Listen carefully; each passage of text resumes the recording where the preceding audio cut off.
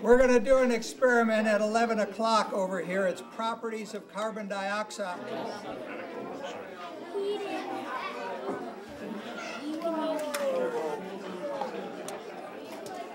Ready? Oh, you do? Oh, cool. Yeah, try it.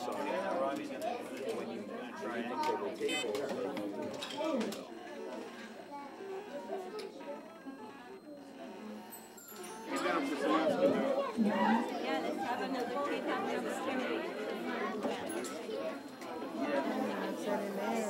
Because it's, The layers of carbon slide off onto the paper. You could also use that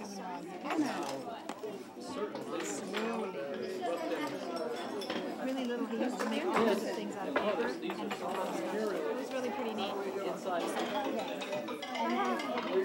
I think after the coating wears off.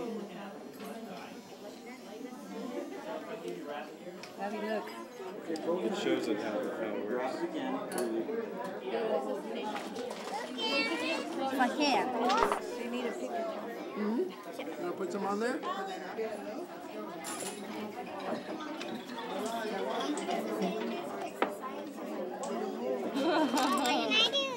Okay.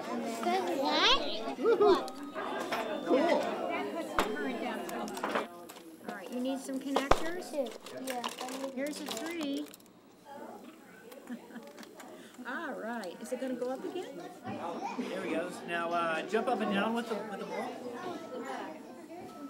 You see, you can still see it. When it's in water. Oh, I get it. Do it to the one in the water.